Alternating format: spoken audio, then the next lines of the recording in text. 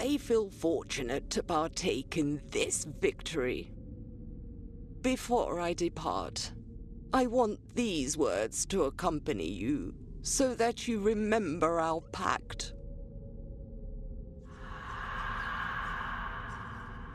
Penitent one in silence, now resume your journey.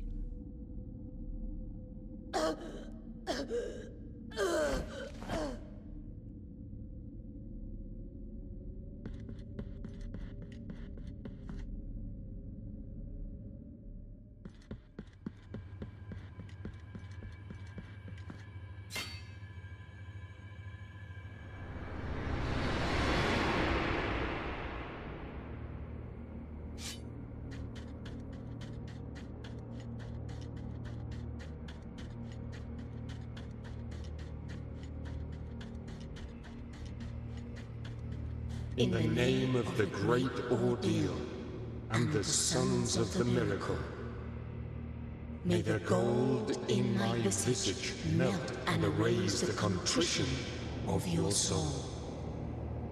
Heart of guilt, return now from the dream.